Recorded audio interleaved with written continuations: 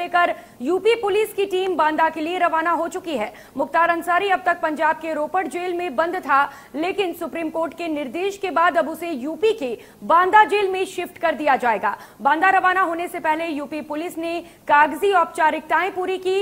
इस पर पूरे ऑपरेशन को यूपी पुलिस लीड कर रही है। मुख्तार अंसारी को पंजाब से हरियाणा के रास्ते यूपी लाया जाएगा। हरियाणा से ईस्टर्न पेरिफेरल एक्सप्रेसवे के रास्ते यूपी में मुख्तार अंसारी को लाया जाएगा, जिसके मद्देनजर बागपत में सुरक्षा के कड़े इंतज़ाम किए गए हैं। यूपी पुलिस के 150 जवान मुख्तार अंसारी के साथ हैं। इन 150 पुलिस कर्मियों में यूपी के पीएससी की एक कंपनी भी शामिल है।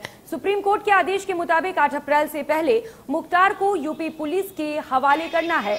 जिसके बाद पंजाब के गृह विभाग ने यूपी को चिट्ठी लिखी थी। पंजाब के रोपड़ की रूपनगर जेल में बंद मुख्तार को यूपी के बांदा जेल लाया जाना है। बांदा जेल में मुख्तार को लाए जाने से पहले वहाँ की सुरक्षा बढ़ा दी गई है। बांदा जेल की गेट पर पुलिस सुरक्षा बूथ बनाया गया है। जेल के बाहर पुलिस चौकी पर अतिरिक्त पुलिस कर्मियों की तैनाती की गई है। जेल में मुख्तार जिस बैरक में, उसकी किलेबंदी भी की गई है।